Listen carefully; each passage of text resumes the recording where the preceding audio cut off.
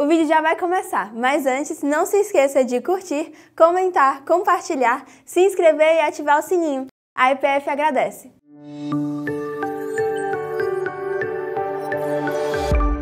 Isaías 37, 14 a 20, levando nossas causas para Deus. Pode fazer assentado mesmo essa leitura. Tendo Ezequias recebido a carta das mãos dos mensageiros, leu-a. Então subiu à casa do Senhor estendeu-a perante o Senhor e orou ao Senhor, dizendo: Ó Senhor dos exércitos, Deus de Israel, que estás entronizado acima dos querubins, tu somente és o Deus de todos os reinos da terra, tu fizeste os céus e a terra. Inclina, Senhor, os ouvidos e ouve. Abre, Senhor, os olhos e vê. Ouve todas as palavras de Senaqueribe, aos quais ele enviou para afrontar o Deus vivo. Verdade é, Senhor, que os reis da Síria assolaram todos os países e suas terras, e lançaram no fogo os deuses deles, porque deuses não eram, senão obra de mãos de homens, madeira e pedra, por isso os destruíram. Agora, pois, ó Senhor nosso Deus, livra-nos das suas mãos, para que todos os reinos da terra saibam que só tu és o Senhor. Deus amado, nós queremos meditar na tua palavra mais uma vez, queremos aprender da tua palavra, olhando para o passado e ver aquilo que o Espírito Santo inspirou, registrando a história do teu povo no Velho Testamento, dando no Senhor a visão no Novo Testamento dos cumprimentos das tuas promessas com relação ao Messias.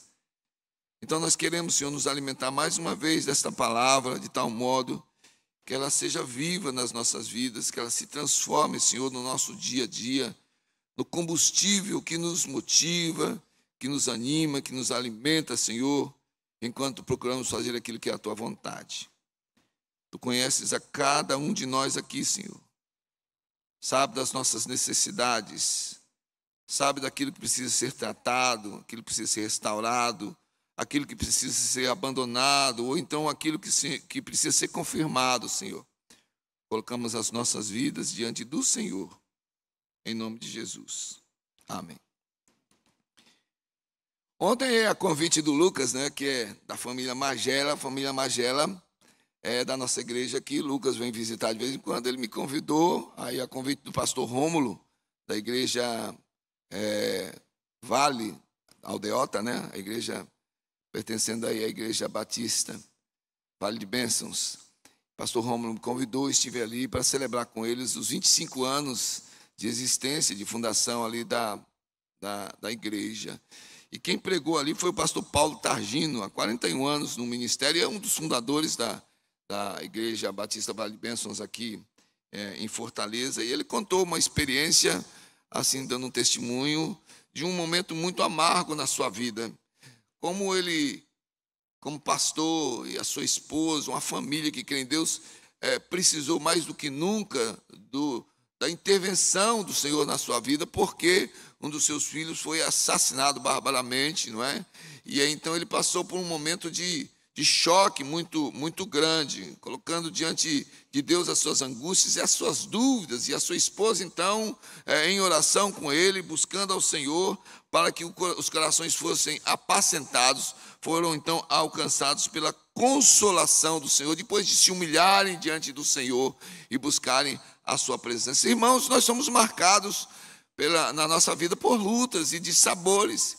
E muitas vezes algumas coisas que pressionam a nossa vida nos levam para o descontrole, para o corre-corre. Nos esquecemos, assim como os discípulos lá no barco durante a tempestade, de quem é Deus de que Ele é a fonte de todas as bênçãos, que Ele é a nossa segurança, Ele é a nossa base. Então, antes de qualquer coisa, devemos correr para Ele e colocar diante dele as nossas lutas, colocar diante dele a nossa vida, os nossos dramas. Nem sempre nós temos motivos de alegria e, e, de, e de, sucesso e de êxito, às vezes há momentos de lutas e, e de dificuldades. Estamos aí com o texto de Isaías. Isaías foi escrito entre os séculos 7 e 8 antes de Cristo Jesus, numa época em que o povo de Deus estava passando assim, realmente por uma luta muito grande, em consequência do seu próprio pecado. Davi havia morrido, passou o reino para Salomão, Salomão havia morrido, e aí então dividiu-se o reino de Israel, e de um lado ficou o reino do norte, com o nome de Israel, com a capital é, em Siquém, e do outro lado Judá, reino do sul, com a capital em Jerusalém. E os reis foram se alternando e levando o povo a uma corrupção muito grande com a idolatria, com o paganismo. A classe sacerdotal entrou em caos. Os profetas então estavam confusos e muitas vezes profetizando de acordo com a vontade do ser humano. E Isaías trabalhou arduamente durante 40 anos profetizando, durante os reinados de Uzias, de Jotão, de Acais e de Ezequias. Então ele escreveu esse episódio aqui, no texto que nós temos aí, Isaías 37, 14 a 20, do episódio que está registrado também em 2 Reis, capítulos 18 e 19. Ezequias, uh, cujo nome significa Jeová fortalece, nasceu por volta do ano 736 a.C., e quando ele assumiu o reinado, aos 25 anos, ele estava sucedendo o seu pai no reinado de Judá, o reino do sul, e ele reinou durante 29 anos. O seu pai foi o rei Acais, um rei mau. Levou um prejuízo espiritual muito grande ao povo. Ele fez atrocidades em desobediência, em afronta a Deus, chegando até ao ponto de oferecer um dos seus filhos queimado no ritual pagão. Isso trouxe uma desgraça muito grande sobre o povo eh, de Deus. Ezequias assume Judá, ele olha para o reino do norte, vê a confusão muito grande estabelecida, ele agiu de uma forma totalmente diferente do seu pai, foi fiel ao Senhor. Voltou seus olhos para a palavra, procurou orientação, Isaías, a quem está aí no seu ministério profético nesse contexto, e então Deus levantou Ezequias para fazer uma profunda reforma espiritual. Veja comigo aí 2 Crônicas, capítulo 29, versículos 1 a 5. Ezequias começou a reinar quando tinha 25 anos e reinou 29 anos em Jerusalém. E o nome de sua mãe era Abia, filha de Zacarias. Ele fez o que era reto aos olhos do Senhor, conforme tudo quanto fizera Davi, seu pai. Pois ele, no primeiro ano do seu reinado, no primeiro mês, abriu as portas da casa do Senhor e as reparou. Fez vir os sacerdotes e os levitas, e ajuntando-os na praça oriental, disse-lhes: Ouvi-me, ó levitas, santificai-vos agora, e santificai a casa do Senhor, Deus de vossos pais, e tirai do santo lugar a imundície. Isso porque todo o povo estava corrompido com a visão de, de desobediência. A reforma de Ezequias foi profunda porque a luta dele maior era justamente pela idolatria que já estava incrustada no coração do povo. Os filhos já nasciam dentro de uma visão dos seus pais totalmente contrária à vontade de Deus. Ezequias removeu os altos, os altos eram lugares nos bosques onde o povo levantava altares para deuses estranhos. Ele quebrou as colunas, derrubou os postes ídolos, monumentos, irmãos, muitos deles erguidos é, é, com a figura reproduzida das genitálias, principalmente é, masculina, porque o povo buscava, sabia que era Deus, mas buscava a prosperidade, buscava a saúde através desses rituais.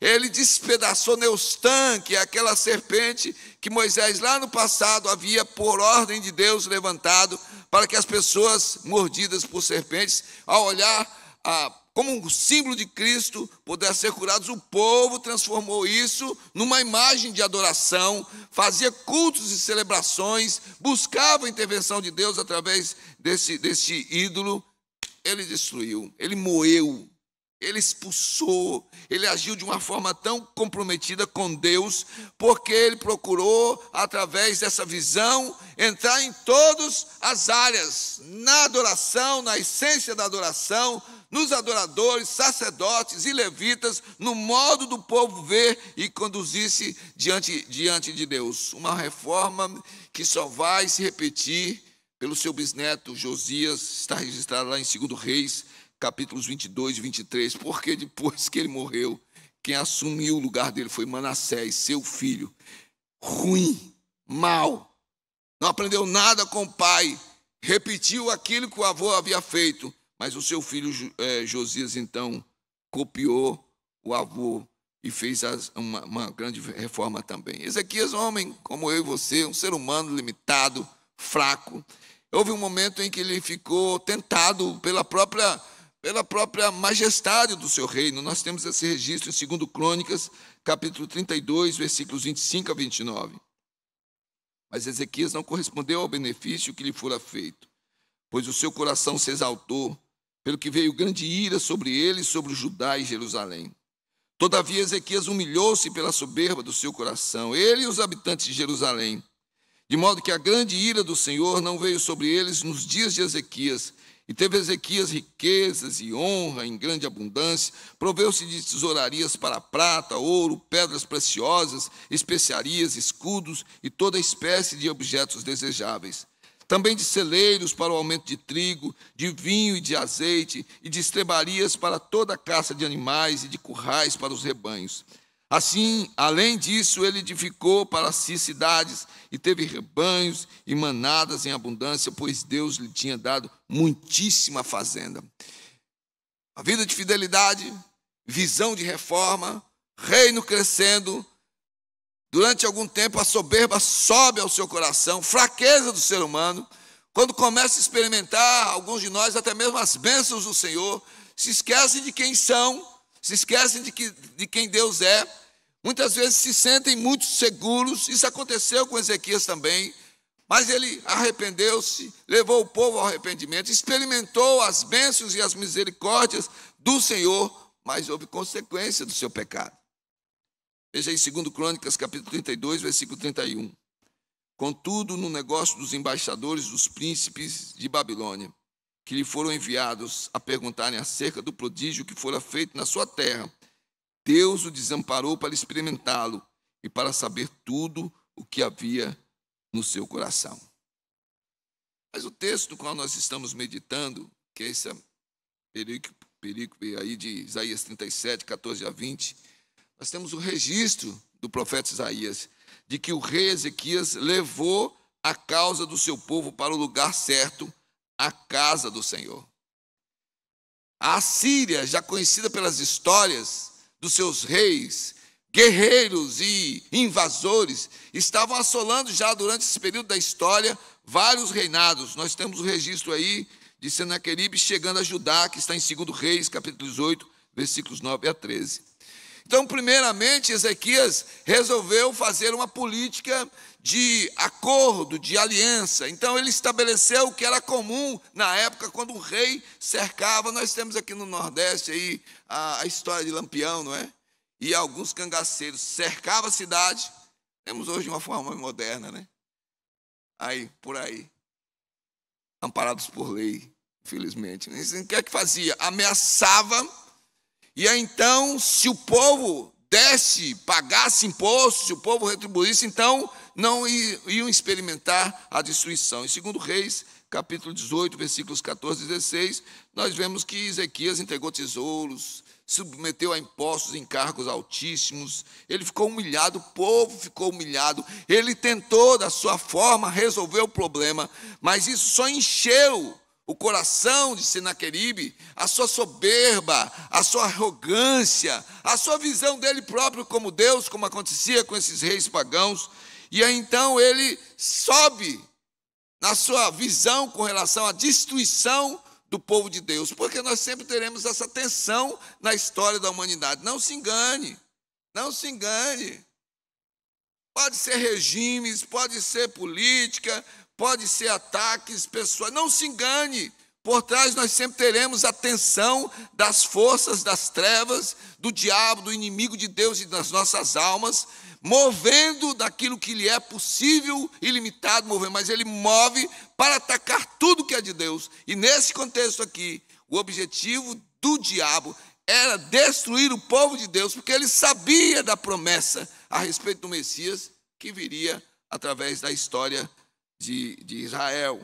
E então, Isaías capítulo 37, versículos 10 a 13, nos dão o seguinte registro: ele manda uma comitiva.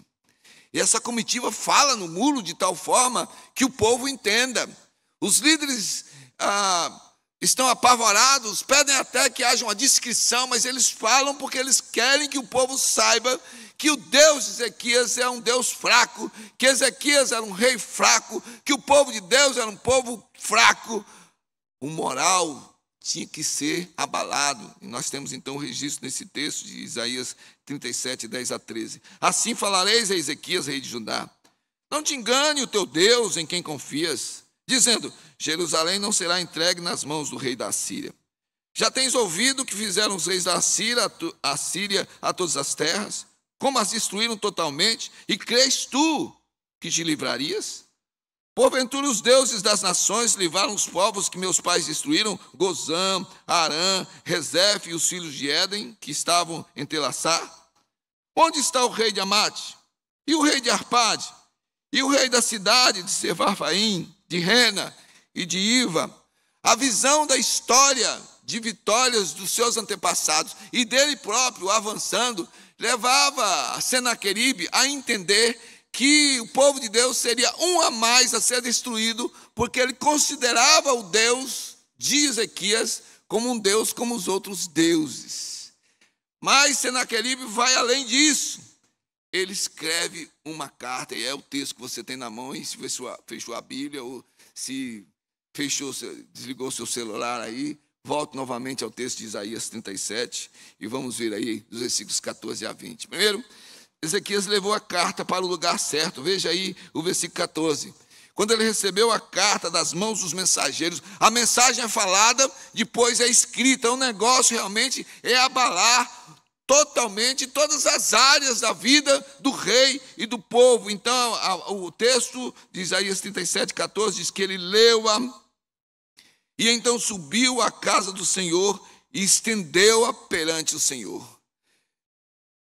Atitude de Ezequias foi uma atitude física, realmente. Eu tenho um problema. Agora está registrado em carta, não é só mais palavra. Agora é uma afronta, e não é uma afronta que diz respeito a mim. O meu Deus está sendo afrontado. Ele sobe para a casa do Senhor, aonde Deus era adorado, aonde os sacrifícios eram oferecidos aquilo que era visto como a habitação da casa do Senhor, a habitação do Senhor. É o lugar onde o povo acreditava que Deus se manifestava realmente, a presença de Deus, a casa do Senhor, o templo era tudo para o povo, é para lá que ele leva essa carta. Segundo, Ezequias clamou ao único e verdadeiro Deus, veja aí os versículos 15 a 19, porque o que ele faz aqui é uma expressão de adoração.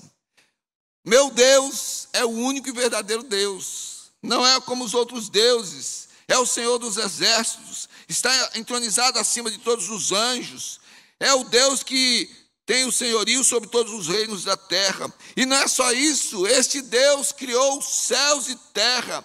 E então ele olha, ele ora, ele chora, ele clama, ele coloca aquele documento e então pede de uma forma que é a expressão humana de falar, porque sabemos que Deus é espírito, ele vai se manifestar quando vem encarnar-se como Deus Filho, mas esse Deus é Espírito, mas ele diz: inclina os teus ouvidos, ouve, Senhor. Abre os teus olhos e olha para o problema que eu tenho aqui. Esta carta colocada diante do Senhor. O argumento que tem aqui, Senhor, é que esses reis da Síria já já assolaram muitos países, destruíram seus deuses, mas ele admite, são deuses falsos. Por isso foram destruídos. Senhor Deus, Escuta, porque o Senhor é o único e verdadeiro Deus. Ezequias exercitou a sua fé somente Deus, veja aí o versículo 20.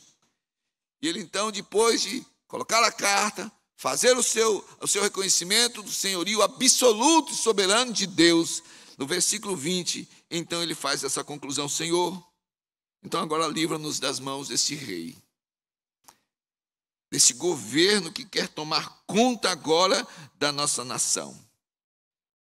Mas a visão de Ezequias está na história, porque ele sabia que Deus estava registrando a história. O Espírito Santo registrou no Velho e no Novo Testamento a história, a nossa história, para que o mundo trema diante do poder de Deus. Por isso ele diz: todos os reinos da terra vão saber que só o Senhor é Deus. Naquele momento, o coração de Ezequias ainda está abalado. Ele está colocando um problema, ele sabe que a fonte é Deus, ele chora diante desse problema, mas ele clama pela intervenção do Senhor, mas ele ainda está fragilizado. Ele busca o socorro, então, de Isaías, que registra o caso aqui. E aí Ezequias testemunha o poder de Deus se manifestando em resposta à sua fé. E isso vem através de Isaías. Porque Deus fala através de Isaías, veja comigo aí, Isaías 37, 37, versículos 35 a 38.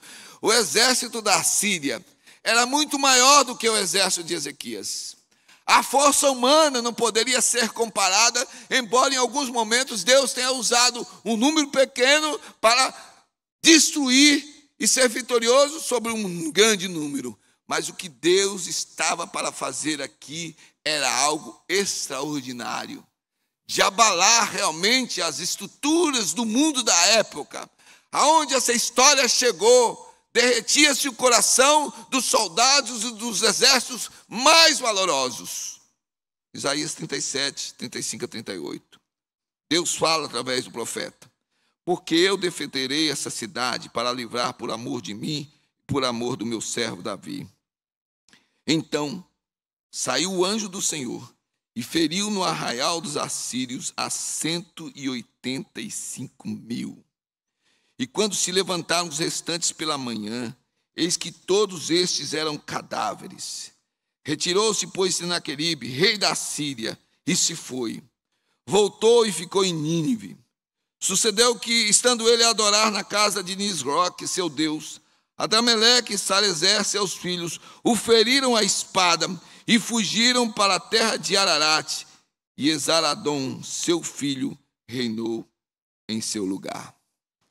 Irmãos, que resposta extraordinária de Deus a um rei que tem que tratar com um problema não somente administrativo, mas é um problema que envolvia a segurança nacional. Uma pessoa, um homem, se sentindo Deus, ameaçando e fazendo as coisas de acordo com a sua cabeça. Tinha a seu mandado pessoas subservientes que obedeciam cegamente às suas ordens, contrariavam toda e qualquer ética de guerra, invadiam, destruíam. Este homem, diante de todo esse poder, tem que levantar de manhã e ficar chocado ao ver o seu exército numeroso prostrado de uma forma misteriosa e outros apavorados, gritando diante daquilo que havia acontecido. Deus responde à oração de um servo dele que leva para diante dele um documento que afrontava Deus e que afrontava o seu povo. Irmãos, Ezequias serviu a Deus com fidelidade de coração. É você ler a Bíblia, nós estamos fazendo leitura do Velho Testamento, estamos passando agora por esse período de Isaías. Ele ficou doente, ganhou mais 15 anos, porque ele clamou diante do Senhor. Deus concede a ele, e nesse período, então, é que se manifesta essa soberba. Ele se perdeu como, como qualquer pecador, como qualquer de um de nós se perde, se deixou dominar pela sua fraqueza. Nesse período é que ele vai expor, porque chega uma comitiva da Babilônia, e ele começa a contar então das coisas que havia feito do seu reino, se esquece da vontade de Deus, expõe pontos nevrálgicos de segurança do seu povo. Essa comitiva vai para a Babilônia. E depois de alguns anos, depois de Ezequias morto, volta e na verdade eram espiões que sabiam aí quais eram os pontos estratégicos para invadir. E é então o povo de Deus levado em cativeiro como consequência do seu pecado. Mas a vida de Ezequias testemunhou os grandes feitos na vida do povo de Deus, e é isso que nós estamos vendo hoje de manhã. E a Bíblia demonstra a misericórdia e o perdão do Senhor é, que se fez sobre a sua vida, e ele chega ao final da vida como alguém abençoado, perdoado, mas a Bíblia não esconde de nós que há consequências sobre pecados. Segundo Crônicas, capítulo 32, versículos 32 e 33, registra dizendo: Ora, o restante dos atos de Ezequias e as suas boas obras, eis que estão escritos na visão do profeta Isaías, filho de Amós, no livro dos reis de Judá e de Israel. E Ezequias dormiu com seus pais, e o sepultaram no mais alto dos sepulcros dos filhos de Davi. E todos Judá e os habitantes de Jerusalém lhe renderam honras na sua morte, e Manassés, seus filhos, reinou em seu lugar. E aí o povo volta a experimentar um período sombrio, porque o seu filho não aprendeu nada com o pai e faz muita maldade. Há muitas lições para tirarmos da vida de Ezequias. Mas nesta manhã, o nosso enfoque é aprendermos com, com este, este rei a levar as nossas causas para diante de Deus. Irmãos, nós temos muito, muitos meios para resolver os nossos problemas. Nós somos inteligentes, temos recursos, temos tecnologia. Mas nós não podemos nos esquecer que somos povo de Deus. Agora mesmo como Brasil, passamos por um período triste da nossa história. Alguns têm se desanimado a tal ponto, como eu vi um pai dizendo: Estou dizendo que meus filhos vão embora do Brasil. Alguns não veem nenhuma perspectiva. Eu conheço uma pessoa que chegou e disse: Pastor, não adianta. Não adianta, pastor, não adianta. Não adianta. Adianta, irmãos colocarmos o nosso país diante de Deus e clamarmos por esse país, não pela intervenção de, uma, de alguma força humana, mesmo porque estamos decepcionados com tantas forças. Esses dias recebi aí, olha, agora vai subir para tal instância, agora tal órgão, e, quem está à frente desse órgão dá uma declaração, uma entrevista, que tira totalmente a esperança, crendo em princípios furados, que está na liderança. Nós precisamos é da intervenção divina. Por isso nós temos levado a igreja a orar. E se alguém vai dizer que não vai orar nesse sentido por causa de ideologia, volta a repetir o que já disse antes: está em pecado. Nós não estamos falando em partido, em ideologia, nós estamos falando no crente levar a causa diante de Deus e dizer: Deus, olha, vê, ouve e responde. O que é que nós podemos comparar com essa carta? Não sei, estou olhando aqui um grupo e eu tenho a minha vida. Eu sei o que é que eu tenho levado diante do Senhor. Mas essa carta pode ser o quê? Um diagnóstico de alguém? O bebezinho Emanuel, do Lincoln e da Raniele. O diagnóstico sobre nosso irmão Idemar, lá para Narela, outros mais. O que é que nós podemos comparar com essa carta? Uma resposta do banco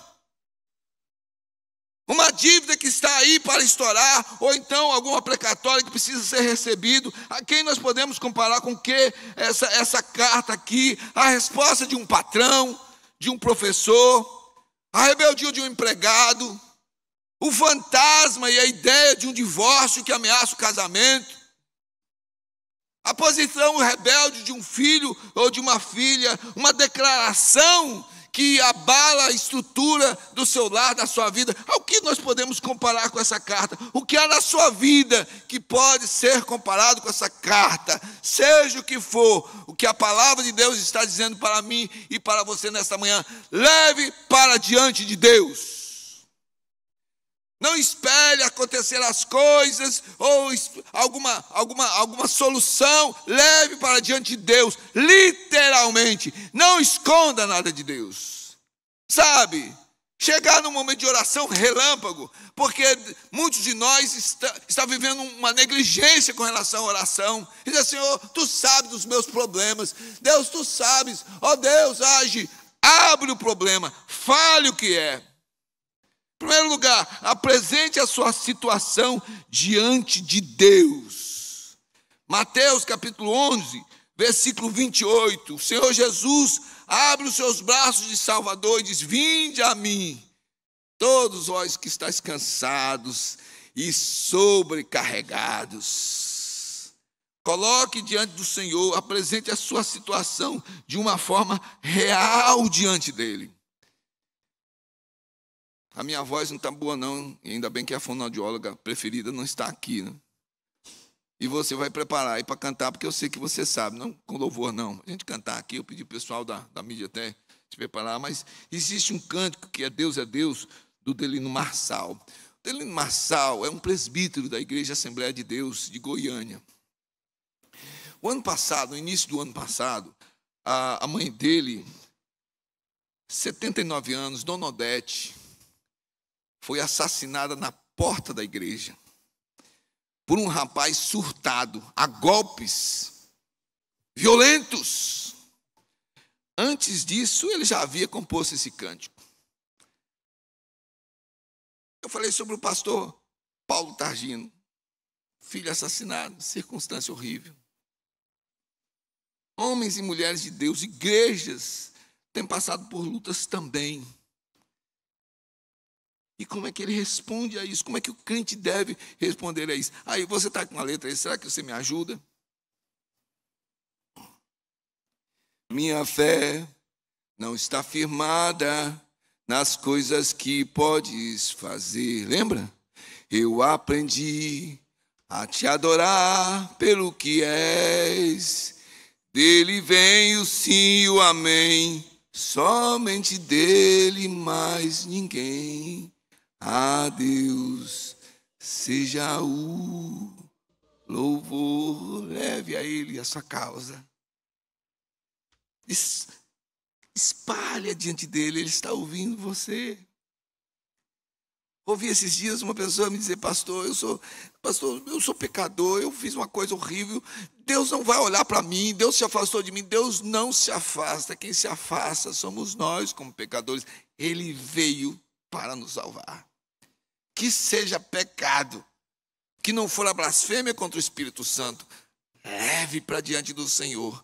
Peça para que Ele haja na sua vida. Em segundo lugar, clame ao Senhor Deus com sinceridade de coração. Não me lembro o texto, agora me veio à memória aquela mulher cirofenícia que chega diante do Senhor e não fala: Senhor, Deus, Senhor Jesus, a minha filha está com um probleminha psicológico, emocional povo está ouvindo aqui, eu não quero falar, mas Senhor, é um probleminha, dava para o Senhor dar uma força. Ela diz: Minha filha está terrivelmente endemoniada. Quem não é convertido, às vezes é processo do demônio. Pode ser um cônjuge, pode ser um filho, pode ser um patrão, um empregado. Talvez o problema da vida, da vida de alguns de nós seja uma opressão maligna, alguém oprimido malignamente, instrumento nas mãos do inimigo, pressionando a vida. Pode ser uma outra situação. Clame ao Senhor com sinceridade de coração, porque você e eu não somos nada sem a ação do Senhor Jesus. 1 Pedro capítulo 5, versículos 6 e 7. Velho apóstolo nos recomenda, dizendo: Humilhai-vos, portanto, sob a poderosa mão de Deus, para que ele, em tempo oportuno, vos exalte, lançando sobre ele toda a vossa ansiedade, porque ele tem cuidado de nós. Seja sincero. Às vezes no gabinete, no aconselhamento, eu ouço o crente se enganando, dizendo: Ah, pastor, só que isso aí, olha, já relevei, viu? Já esqueci, esqueceu nada. É uma mágoa, é uma ira, é um rancor que está sendo cultivado há tempos. Isso impede a sua vida espiritual, as suas orações. Isso traz uma limitação muito grande no seu lar. Pedro já vai dizer isso no capítulo 3, versículo 7 da sua primeira carta. Seja sincero, se dói, dói. Jó dizia: dói, Senhor. Eu queria ser, ter sido abortado, essa é a minha luta. Eu estou com raiva, eu estou com medo. Senhor, eu estou depressivo. Seja sincero.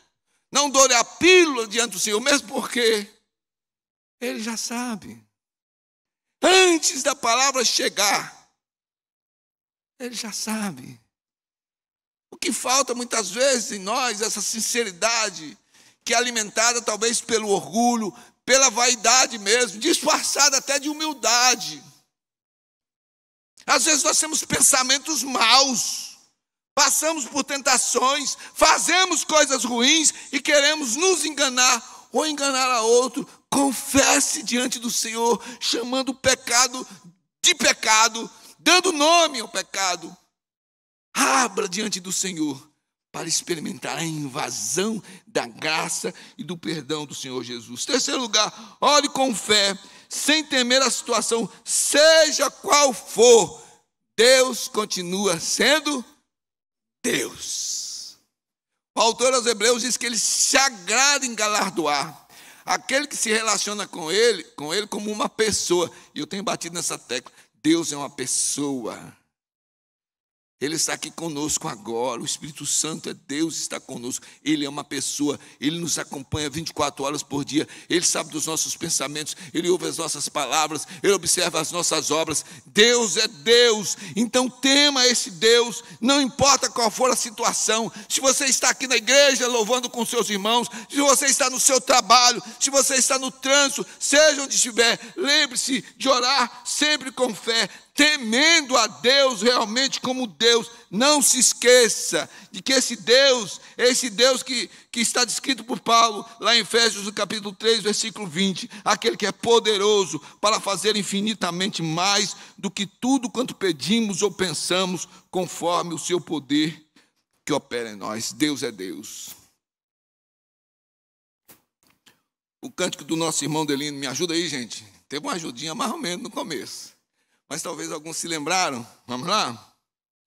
Se Deus fizer, Ele é Deus. Se não fizer, Ele é Deus. Se a porta abrir, Ele é Deus. Mas se fechar, continua sendo Deus. Se a doença vier, Ele é Deus. Se curado eu for, Ele é Deus. Se tudo der certo, Ele é Deus. Mas se não der, continua sendo Deus. Ele é Deus.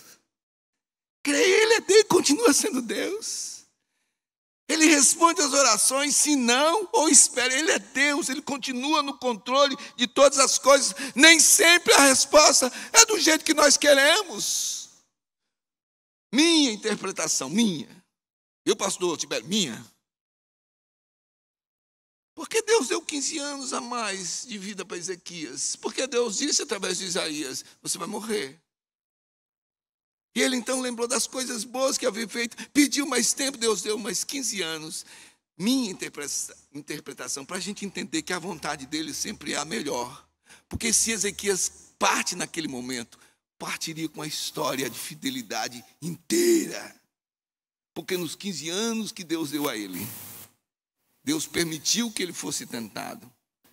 Ele enfraqueceu e jogou todo um povo do futuro na escravidão e na humilhação. Deus é Deus, Ele sempre sabe, Ele sempre vai agir, Ele é o Pai das luzes dele, vem toda boa dádiva, acredite nisso de todo o seu coração, louve ao Senhor, adore. Nós temos aí a pegada com relação à virada da nossa história, para não murmurarmos, não reclamarmos, não maldizermos, mas levantar uma vida de adoração, de louvor, de serviço a Ele, sabendo que Ele é Deus, com alegria no coração, não circunstanciando de acordo com aquilo que acontece. Então eu vou servir, então eu estou alegre, então Deus fica de parte, o ministério fica para lá. Deus é Deus, continua, não importa a circunstância, Ele é o seu Deus, digno de todo louvor, de, digno de toda adoração e aquele que deve ser servido de coração. Em quarto e último lugar, ore com ação de graças, crendo no poder de Deus. Exército de 185 mil. Sabe que os inimigos da Bíblia hoje, eles usam esse argumento. Você acredita mesmo? E tem crente que vai fazer as contas. Acredito. Como aquele velhinho que na discussão com o ateu, ouviu a seguinte pergunta: Você acredita mesmo que um peixe engoliu um homem? Ficou com ele três dias na, na, na barriga, um peixe grande, e depois cuspiu numa, numa praia. Você acredita mesmo nisso? Ele se acredita porque está na Bíblia, porque se estivesse na Bíblia que o homem engoliu uma baleia e ficou com três dias na barriga e cuspiu ela viva, eu ia acreditar, está na Bíblia. Isso não é simploriedade, não, irmãos. Isso é fé, é confiança de um olhar para um ato de Deus que abre o mar no meio, que transforma H2O em bebida fermentada, o vinho. Esta deve ser a nossa fé, a orarmos com ação de graças, crendo no poder dele. Nós vamos com, com, a, com, com a situação do Emanuel, do, do Lincoln para diante de Deus. A nossa crença, Deus cura. Deus pode curar. A vontade dele vai ser feita de acordo com a soberana vontade dele. Mas eu não posso ir para uma oração titubeante, sabe? Se, se, o Senhor, Deus, pode fazer, não pode fazer, mas se o Senhor fizer, Deus, o Senhor pode, nós cremos que não há limitação para a sua ação. Creia dessa forma, olhe dessa forma. Você não dá ordem para Deus, você não determina nada para Deus, deixe dessa besteira, dessa teologia cheia de, de ufanismo. Nós não podemos, a não ser clamar, mas clamar crendo, Ele pode. Filipenses capítulo 4, versículos 6 e 7. A palavra de Deus diz: Não andeis ansiosos de coisa alguma, em tudo Porém, sejam conhecidas diante de Deus as vossas petições pela oração e pela súplica, com ações de graças, e a paz de Deus, que excede todo entendimento, guardará o vosso coração e a vossa mente em Cristo Jesus. O crente tem ansiedade. Nem Jesus, nem Paulo, nem Pedro, nem a Bíblia diz que não tem. O que eles dizem é que nós não devemos cultivar ansiedade. O crente tem depressão, luta. Irmãos, eu trato hoje no aconselhamento quando alguém está com depressão de uma forma diferente. Porque na luta contra a Covid, veio não sei de onde esse negócio. E eu nunca experimentara antes. Quantas pessoas eu ouvi, eu dizia: você precisa orar, você precisa ler a Bíblia, isso é falta de fé. Eu crendo no Senhor, buscando o socorro do Senhor, mas tinha dias que desmoronava para dentro, uma coisa que a gente não entende, não tem explicação. Uma vontade tremenda de morrer, de sumir. Havia momentos assim que havia essas crises de uns 15, 20 minutos, um dia foi a três horas e não passava isso.